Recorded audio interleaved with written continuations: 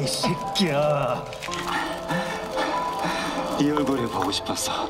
이게 너잖아, 진짜 네 모습. 오래전 내 장난감 훔쳐가던 때부터 넌 날 죽이고 싶어 했는데 사람들 앞에서는 한 번도 안 보여줬지. 살인자의 얼굴.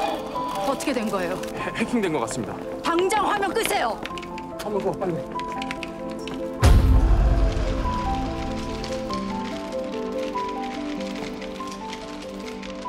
이거구나. 소름 끼치도록 차가운 살인자의 얼굴. 이제 너도 봤지? 그땐 네가 미친 줄 알았는데 이제 모든 사람들이 보게 됐네. 너한테만 보이던 거. 아, 이게 뉴스구나.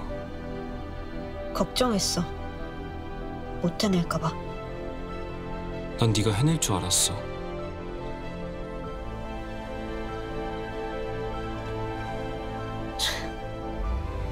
넌 태풍을 이기는 사람이잖아. 박대상은 태풍이고